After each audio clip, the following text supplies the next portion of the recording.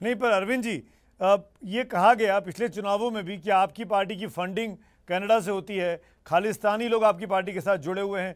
शायद उसी और इशारा कर रहे थे क्या राहुल गांधी? इसको क्लियर करना ज़रूरी है इस चुनाव के मौसम में। मेरे को जेल भेज दो। न तो पाँच साल तो इनकी सरकार थी, ये मेरे खिलाफ एफआईआर करते, मेरे को जेल भेजते। इन्होंने, अगर मैं आतंकवादी हूँ तो मेरे को जेल क्यों नहीं भेजा इन्होंने? अब नौटंकी करने क्यों आ रहे हैं अब? भाई, आप शोर क्यों कर रहे हो? केजरीवाल आतंकवादी है, अगर केजरीवाल भ्रष्ट है अगर तो मेरे को जेल भेज दो। जाँच तो कराओ, जेल तो भेजो। इन्होंने जो बेअदबी करने वाले लोग थे, कांग्रेस ने गुटका साहब जी की कसम खाई थी कि हम बेअदबी करने वाले मास्टरमाइंड को जेल भेजेंगे। पाँच साल में इन्होंने नहीं भेजा। क्या सेटिंग है इनकी उन लोगों के साथ? मॉड बॉम्ब ब्लास्ट हुआ। पाँच साल हो गए, उसको जाँच नहीं हुई अभी तक। क्या क्या सेटिंग है इन लोगों की उनके साथ? अरविंद जी ये जानना बहुत ज़रूरी है आपने बेअदबी का मामला उठाया। आम आदमी आम आदमी अगर अगर अगर आपकी सरकार बनी तो इस बेअदबी के मामले को रोकने के लिए क्या करेंगे आप? क्या प्लान है आपके पास?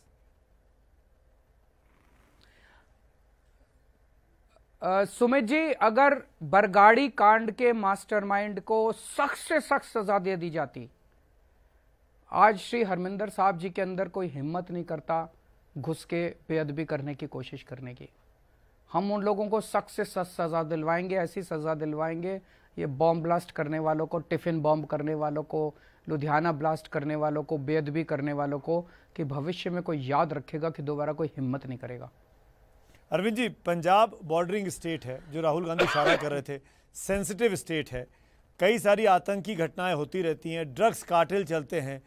आ, इसको कर्टेल करने के लिए जब तक केंद्र सरकार के साथ आपका सामंजस्य नहीं होगा, आपकी सरकार बनने की स्थिति में तो कैसे पंजाब के लोग अपने आप को सिक्योर फील कर पाएँगे?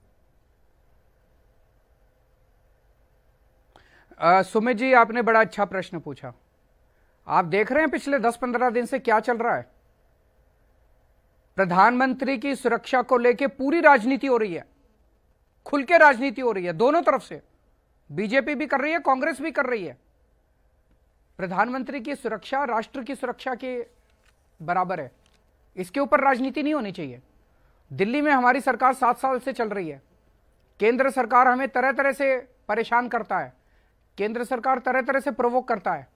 लेकिन जब जब हमारे सौ मतभेद है केंद्र सरकार से, लेकिन जब जब जनता की बात आती है, राष्ट्र की बात आती है, हमने केंद्र सरकार के साथ मिलकर काम किया। आप कोरोना के टाइम का देख लो। कोरोना के टाइम पे हर प्रेस कॉन्फ्रेंस में मैं कहता था कि केंद्र सरकार के साथ मिलकर काम कर रहे हैं, उनसे सहयोग मिल रहा है। हमने दस बार केंद्र सरकार का धन्यवाद किया। केंद्र सरकार के साथ मिलकर हमने दिल्ली में कोरोना का मैनेजमेंट ठीक किया। पंजाब के लिए मैं आपके ज़रिए आश्वासन देना चाहता हूँ पंजाब के लोगों को। पंजाब के तीन करोड़ लोगों की सुरक्षा हमारे लिए सर्वोपरि है। इसके लिए अगर हमें थोड़ा सा केंद्र सरकार के सामने झुकना भी पड़ा, हमें, हमारा कोई अहंकार नहीं है।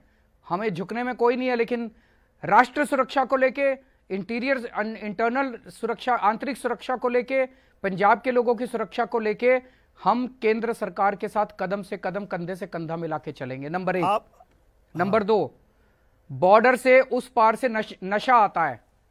उस पार से टिफ़िन बॉम्ब आते हैं उस पार से आतंकवादी आते हैं।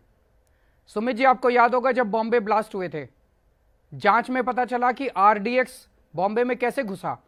क्योंकि कस्टम के कुछ अधिकारी बिक गए थे। तो इसका मतलब कुछ ना कुछ भ्रष्टाचार कोई ना कोई मिल जाता है इधर से उधर से। और तब ये सारा सामान अंदर घुसता है। इसलिए बॉर्डर स्टेट में कट्टर, ईमानदार सरकार होना ज़रूरी है। अगर बेईमान सरकार होगी, वो उन लोगों के साथ मिलकर नशा अंदर लाएगी बॉम्ब अंदर लाएगी। आम आदमी पार्टी, अकेली पार्टी है जो कि कट्टर, ईमानदार सरकार दे सकती है। इसलिए बॉर्डर सरकार बॉर्डर प्रदेश चलाने के लिए हम सबसे ज़्यादा सक्षम हैं।